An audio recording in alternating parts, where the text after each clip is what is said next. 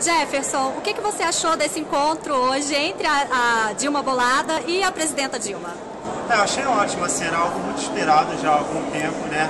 É, todo mundo que curtia a Dilma Bolada, que acompanha desde o começo, quase 700 mil pessoas torciam e foi, acho que aconteceu num momento bom, um momento do, da estreia do novo portal Brasil e foi muito oportuno, foi muito divertido, foi inusitado, foi, foi muito bom, assim, melhor do que eu imaginava. E o que você achou da presidenta reativar o perfil dela? Essa é uma maneira de chegar até o público mais jovem? É uma maneira de falar com o público?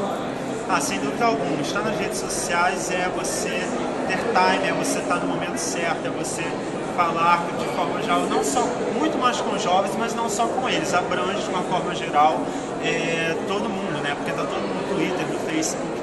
Então eu acho que é mais um canal de comunicação do governo para a presidenta poder se comunicar com as pessoas de uma forma mais rápida, é, mais pessoal e enfim, eu acho que aqui para frente vai ser muito melhor.